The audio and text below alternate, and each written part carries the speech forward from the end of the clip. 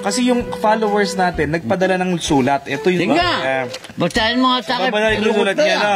O, sige. Humihingi ng tulong eh. Ito, basahin ko ha. Ano niya? Tingnan ko naman. Tutulungan ko, putang na. Eh, kahit sa pagnakaw ko yung putang na, yun, magnanakaw ako. Nagnakaw ka ng Ah. kalabaw rin. Pakinggan mo muna, Lo. O, ito yung kanyang katanungan. Lolo Vino at Kuya Marcelo. Mm. Yan. Ito, Tanong kasama ka pala demonyo. Itago niyo na lang po ako sa pangalang Lando. Demonyo, dala ka pa. Lalaki. Nagnakaw nga eh. Tuwing magtatalik po kami ng girlfriend ko, Oh. ang gusto po niya ay halikan to the max. Nako, yung laplapan. As in torrid po, Hmm, putang. yung sinisip-sip ang dila. Nako po. Ayaw ko po kasi ng ganon, kasi Oh. mabaho po ang kanyang hininga. Nako po.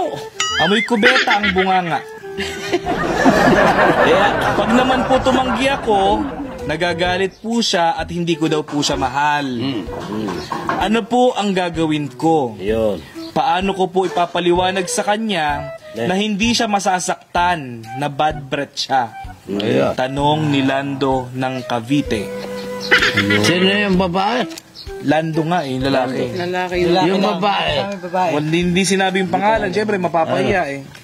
Ano, kunyari ikaw si Lando. Ah, eh, Landa. Oh. Utang na ka. Pareho ko tang lalaki, ha? Oh. Ako, ha? Dito ko sa Nueva Ecija. Oh. Alam niya, sabi sa bad breath ako.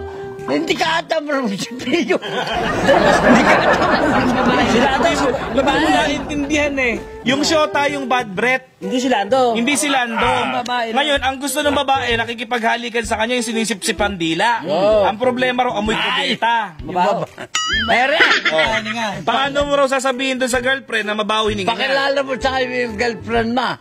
Para nung na siya, ma-introduce ko na maayos. Eh, na, ikaw, din, ikaw, inaano ko eh. Ang may problema pala putang na yung asawa mo. Demonyo yun. Paano nga raw niya sasabihin sa girlfriend niya Na hindi na, masasaktan. ma- na hindi masasaktan yung girlfriend niya Ayun. na mabaho yung hininga ng girlfriend. Ayaw! Ah, Pero- paano Hindi, sasabihin? hindi, hindi problema yun. Ako, sanay ako dyan. Marami akong naging.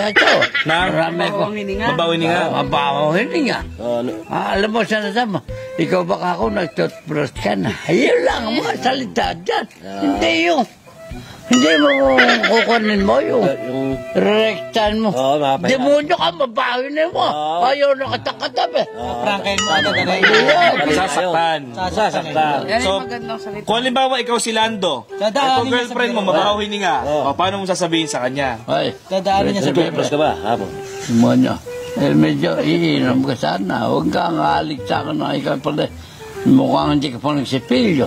Babarinig kita. Tandaan mo.